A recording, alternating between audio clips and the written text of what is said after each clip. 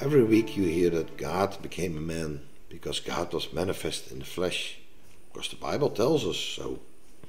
So where did it get this from? It's from 1 Timothy 3:16.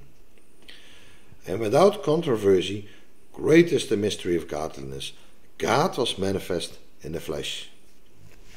So what is this mystery? It says the mystery of godliness not the mystery of how God became a man. So let's talk about this mystery of how to lead godly lives. Godliness, right? First of all, this chapter is talking about living righteously. It says if you want to be a bishop, or in other words, a teacher, an overseer, or a guardian, you desire a good work.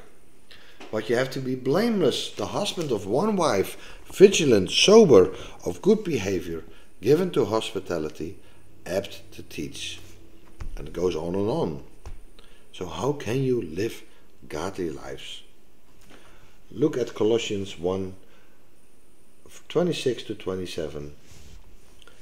Even the mystery which has been hid from ages and from generations, but now is made manifest to his saints to whom God would make known what is the riches of the glory of this ministry among the Gentiles, which is Christ in you, the hope of glory. So, this mystery that has been hid, that is Christ in you. That's why it says, and without controversy, great is the mystery of godliness. Let's go to the Greek. In the Greek, it says that who was manifest in the flesh? Some translations say, He was manifest in the flesh. So, who is manifest in the flesh? Let's read on.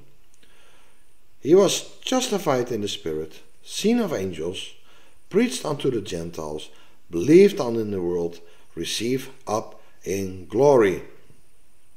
So, is this talking about God or Jesus? Let's think about this. It says that he was justified in the Spirit. Does, does God need to be justified? He was received up in glory. Does God need to be received up in glory? No, it's talking about Christ.